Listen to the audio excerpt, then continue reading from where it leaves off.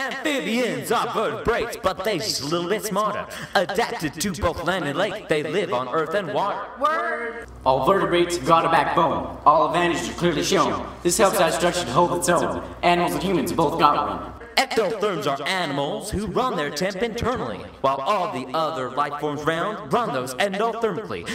One factor from the inside, the other facts on the out. Both heating and cooling the body, just taking a different route. Hey. The lateral line system is a fish's set of organs. They detect vibrations through the water, despite their long or short ones. An example of amphibians, a lungfish is what we've named it, both water and the land. So it seems the lungfish claimed it. One set of lungs, one set of gills. Seems as though the lungfish has a win-win on this deal.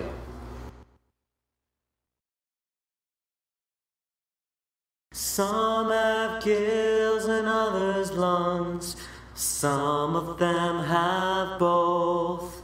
And all of those vertebrates with the backbones, the spine, the slow. Only wishing to hold their own.